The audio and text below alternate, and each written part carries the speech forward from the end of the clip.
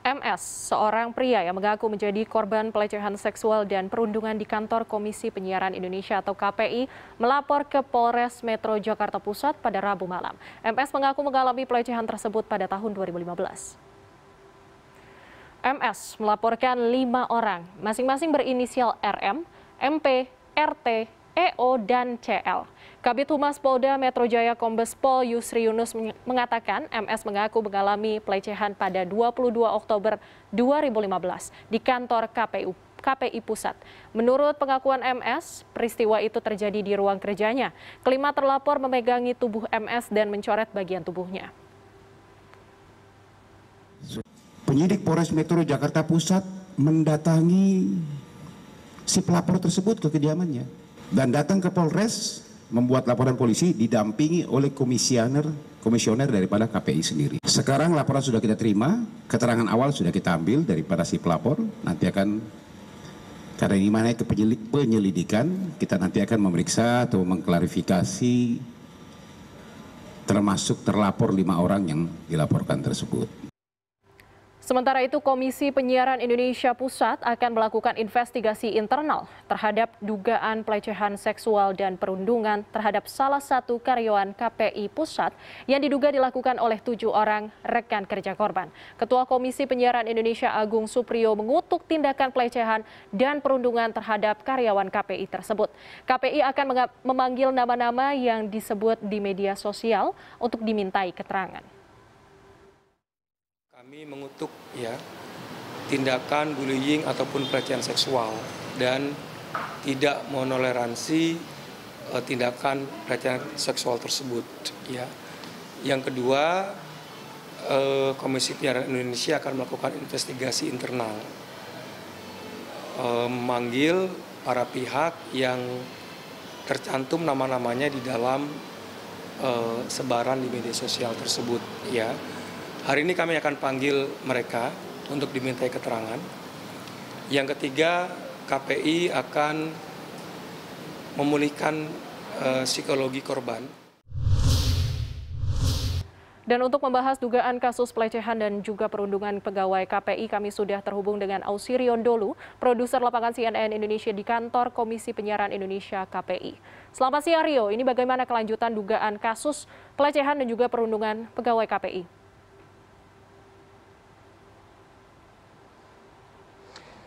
Ya selamat siang Sarah, perlu saya revisi sedikit bahwa saat ini saya berada di kantor Komnas HAM karena memang uh, dalam agenda yang memang ditetapkan pada hari ini uh, korban begitu dan juga mungkin kuasa hukumnya dijadwalkan untuk hadir di Komnas HAM pada pukul 10 pagi waktu Indonesia Barat untuk melakukan untuk memberikan laporan terkait dengan apa yang terjadi terkait dengan kasus pelecehan seksual. Dan Sarah memang ini menjadi kasus pelecehan seksual ini menjadi hal yang memang kita sayangkan ini kembali terjadi di tanah air.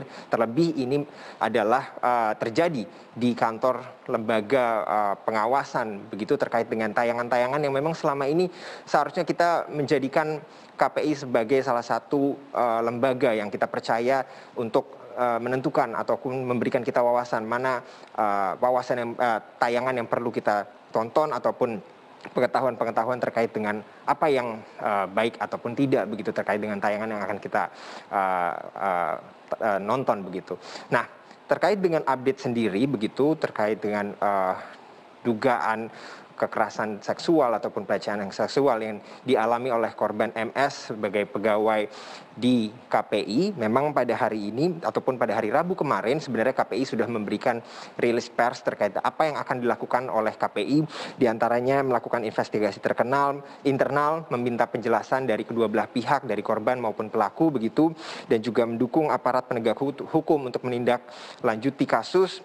Dan yang ketiga adalah memberikan perlindungan hukum dan juga pemulihan psikologis yang akan diberikan kepada korban dan yang terakhir adalah menindak tegas bahwa pelaku jika uh, terbukti melakukan pelecehan seksual ini akan ditindak tegas sesuai dengan aturan-aturan yang berlaku di KPI. Dan tadi kami juga sempat mengkonfirmasi kepada salah satu komisioner KPI pusat begitu uh, Nuning begitu yang menyatakan bahwa proses investigasi hingga pada saat ini masih terus berjalan, pihaknya masih terus berusaha untuk uh, memanggil lima orang ataupun tujuh orang yang yang disebutkan menjadi uh, pelaku dalam uh, kekerasan seksual tersebut. Namun memang hingga pada saat ini belum ada kesimpulan ataupun belum ada keputusan terkait dengan proses investigasi yang berlangsung secara internal di KPI.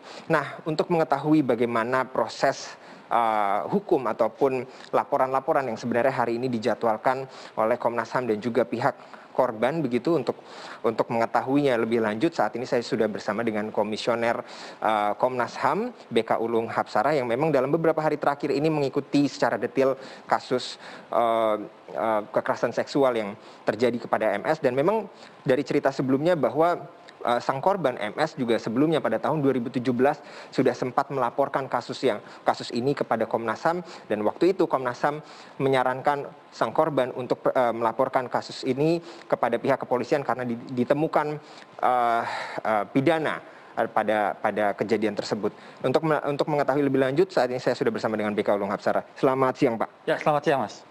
Pak BK ini terkait dengan uh, dugaan kekerasan seksual dan saya harus konfirmasi dulu bahwa tahun 2017 sang korban sudah pernah melapor ke sini betul itu ya? Ya betul. Jadi MS pada Agustus 2017 sudah mengadu ke Komnas HAM lewat email dan kemudian direspon oleh Komnas HAM September 2017 begitu dan saran yang disampaikan oleh Komnas HAM setelah menganalisa materi yang uh, aduan yang ada memang disarankan korban untuk melapor ke polisi karena ada indikasi tindakan pidana gitu.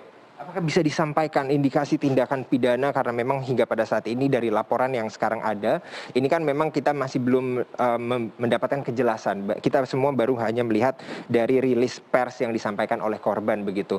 Dari laporan yang disampaikan oleh korban pada saat itu, ini ada tindakan pidana apa yang memang ditemukan oleh Komnas HAM pada saat itu? Ya, uh, indikasi tindakan pidananya tentu saja soal kekerasan seksualnya. Artinya uh, peristiwa yang ada uh, memang mengarah kepada uh, kekerasan seksual yang diakibatkan atau yang dilakukan oleh sesama uh, sipil begitu masyarakat sipil warga sipil biasa. Itu ini dari cerita-ceritanya ini sesuai dengan rilis pers yang disampaikan oleh korban? Ya secara umum sesama lah ya materi aduan yang disampaikan ke Komnas dengan rilis publik yang kemarin viral itu sama itu ada peristiwa kekerasan seksual ada pelaku dan kemudian soal uh, waktunya begitu Nah Pak BK ini kan kita harus karena ini adalah gedung Komnas HAM begitu ya. Ini kan kita sama-sama sangat menyayangkan ada kasus pelecehan seksual yang waktu itu pernah dilaporkan kepada kepolisian, kepada uh, Komnas HAM juga begitu.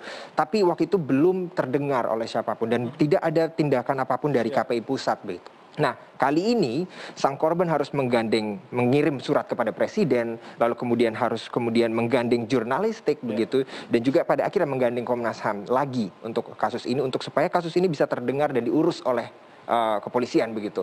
Nah, apa yang akan dilakukan oleh Komnas HAM setelah kasus ini ternyata kembali uh, mencuat di publik begitu? Padahal waktu itu sudah sempat dibicarakan. Ya, saya kira yang pertama begini Komnas HAM merespon situasi yang ada dengan berinisiatif untuk uh, melakukan uh, pemantauan atau penyelidikan lebih lanjut. Kenapa kemudian kasus ini ada pembiaran? Dalam pengertian pembiaran indikasi pembiaran karena ini sudah berlangsung lama tetapi tidak ada uh, proses hukum yang layak bagi korban begitu. Artinya uh, seharusnya begitu melapor misalnya kalaupun ini uh, melapor ke polisi maupun ke atasan ada langkah-langkah yang sistematis begitu sehingga korban langsung mendapat keadilan begitu. Dan itu yang pertama dari uh, Komnas. Yang kedua kemudian Komnas tentu saja akan meminta keterangan semua pihak, korban, terduga pelaku, terus kemudian juga uh, KPI maupun juga kepolisian untuk mendapatkan konstruksi peristiwanya secara utuh begitu. Artinya dari detail siapa saja pelakunya, terus bentuk kekerasan seksualnya seperti apa, waktu, tempat begitu dan latar belakang kenapa sih kemudian ada uh, kekerasan seksual? Apakah karena relasi kuasa yang tidak adil, tidak setara atau juga karena dianggap lucu atau segala macam kita uh, akan mempelajari ke sana. Setelah itu menganalisa dan kemudian menyimpulkan apakah ada memang pelanggaran HAM atau tidak. Setelah itu memberikan rekomendasi ke para pihak. begitu. Baru nanti akan memberikan rekomendasi ya. begitu ya. Nah kalau bisa kita karena ini korban pada hari ini seharusnya ke, ke Komnas HAM, tapi memang sejak pada pagi tadi kita belum melihat ada kedatangan korban. Ya. Sudah ada komunikasi kah dengan korban maupun keluarga korban ataupun dari pihak kuasa hukum mungkin sudah ada komunikasi dari Komnas HAM? Ya uh, sampai tadi jam 11 kami dapat informasi dari pendamping hukumnya bahwa korban ingin istirahat terlebih dahulu begitu. Eh, dan kemudian saya merespon bahwa tentu saja prinsip dari Komnas HAM yang pertama adalah memberikan kenyamanan dan keamanan bagi korban untuk menceritakan begitu. Kalau memang belum siap, belum merasa nyaman dan masih traumat, begitu kami akan memberi waktu bagi uh, korban. Tapi proses di Komnas HAM tidak berhenti dengan menunggu itu. Kami sedang menyiapkan surat untuk meminta keterangan secara resmi kepada KPI dan juga kepada kepolisian begitu berdasarkan informasi atau data yang kami miliki. Iya, gitu. iya. Karena kalau kita lihat dari uh, cerita yang disampaikan oleh sang korban begitu bahwa uh, dua kali uh, korban melaporkan kepada pihak kepolisian Polres Gambil pada saat eh, Polsek Gambil pada saat itu, namun ternyata tidak di BAP kan karena alat bukti ternyata tidak cukup dan kemudian dia sudah melapor juga kepada pimpinan KPI namun pada saat itu dia hanya dipindahkan ruangan tapi tidak ada sanksi jelas kepada kepada uh, pelaku-pelakunya begitu. Tapi kalau kita bicara soal apa yang sudah disampaikan oleh KPI dalam rilis suratnya uh, rilis persnya begitu Pak ya terkait dengan apa yang akan dilakukan oleh KPI terkait dengan uh, investigasi kasus ini. Apakah memang yang disampaikan oleh KPI itu sudah cukup untuk memberikan seperti tadi misalkan memberikan dampingan hukum dan juga pendampingan psikologis begitu. Apakah memang sudah cukup untuk menanggulangi kasus-kasus seperti ini, Pak? Ya, tentu saja begini. Yang pertama, Komnas HAM uh, berkomitmen uh, percaya dengan komitmen teman-teman KPI. Saya kira ini juga kejadian yang barangkali juga mengejutkan bagi mereka begitu yang pertama. Yang kedua, saya kira juga sejauh komunikasi kami dengan KPI selama ini sejak eh, Rabu sampai hari ini KPI cukup responsif dalam pengertian memberikan layanan pendampingan kepada korban, kemudian mendatangi rumah korban, sampai kemudian juga berkomitmen untuk membantu Komnas dalam menyelesaikan uh, penyelidikan yang dilakukan oleh Komnas. Dan saya kira saya percaya pada komitmen tersebut. Berapa berapa lama waktu yang akan diberikan uh, akan dijanjikan oleh Komnas HAM untuk menginvestigasi kasus ini juga, Pak? Saya kira ya kalau lama tidaknya tergantung nanti prosesnya, tetapi mungkin dalam waktu sebulan ini semoga selesai. Baik. Gitu. Cukup terima kasih banyak oh. Pak BK, selamat bertugas kembali, sehat selalu Pak. Terima kasih. Ya begitulah Sarah terkait dengan informasi yang atau update terkini terkait dengan kasus uh, pelecehan seksual ataupun kekerasan seksual yang terjadi oleh karyawan di KPI begitu kita pasti berharap bersama bahwa kasus ini akan mendapatkan segera pencerahan terkait dari semua uh, pihak yang memang turut uh, uh, melakukan investigasi dalam kasus kekerasan seksual ini. Sarah. Baik, terima kasih atas laporannya Ausirion Dolu, produser lapangan CNN Indonesia melaporkan langsung dari kantor Komnas HAM.